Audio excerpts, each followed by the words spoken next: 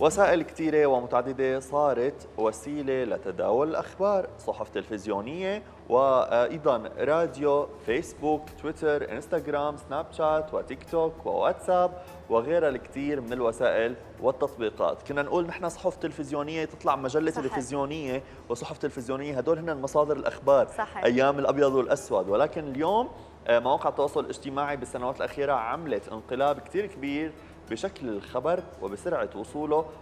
وبطريقة نشره وتداوله أيضا عبر صحيح. ال social media كلنا بنعرف ورد أكيد أنه مواقع التواصل الاجتماعي فعلا يمكن غيرت بشكل كثير كبير طريقة التواصل على الصعيد العالمي وتحولت من أداة لتقريب الناس من بعضها والتسلية لسلاح بإيد العلامات التجارية والشركات وأكيد قادة الرأي يعني نشر موقع Social Media Today قائمة من الحقائق المدهشة عن مواقع التواصل التواصل الاجتماعي رح نخبركم عن أبرزها. آه، بيقول هذا الموقع إنه النساء بيستخدموا السوشيال ميديا أكثر من الرجال فبحسب آخر أرقام الإحصائيات بنسبة 73% كانت للنساء مقابل 65% فقط بين الرجال. أيضا مع حلول سنة 2018 صار عدد مستخدمي مواقع التواصل الاجتماعي حول العالم 2.62 مليار مستخدم ورح يوصل لأكثر من 3 مليارات مستخدم بعام 2021 أظهرت أيضا الإحصاءات أنه صغار السن بيحبوا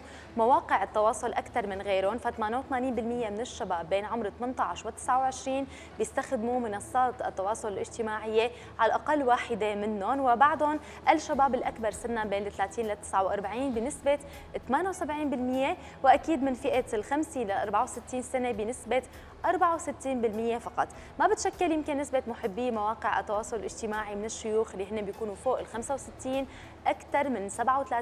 37% فقط من المستخدمين. بآخر الإحصائيات مواقع التواصل الاجتماعي حققت نتائج إيجابية جدا على مستوى التسويق الاحترافي فرفعت ولاء المتابعين بنسبة 63% وزادت أيضا المبيعات بنسبة 53% وقادت الرأي بنسبة 46% وقوت التعاون بين المؤسسات بنسبة 49%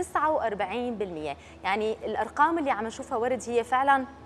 جدا كبيرة يعني عم نشوف قديش اليوم صار التسويق عبر السوشيال ميديا وعبر المواقع وعبر عبر الشخصيات العامة هو صار اليوم رقم واحد بعالم صح. الدعاية والإعلان وبعالم التسويق واللي هو عم يحقق إفادة أكبر تماما. وربح أكبر وبطريقة أكيد أسرع وهون بناكد على ضرورة ذكاء تلقي الخبر أو الإعلان صح. أو المعلومة مو كل حدا صور صورة وكتب فوقها كلمتين معناتها صارت جاهزة للنسخ واللصق صحيح والتداول نحن آه، رح نروح لعند مدام نجلة قباني من بعد هالفاصل لنعرف حظوظنا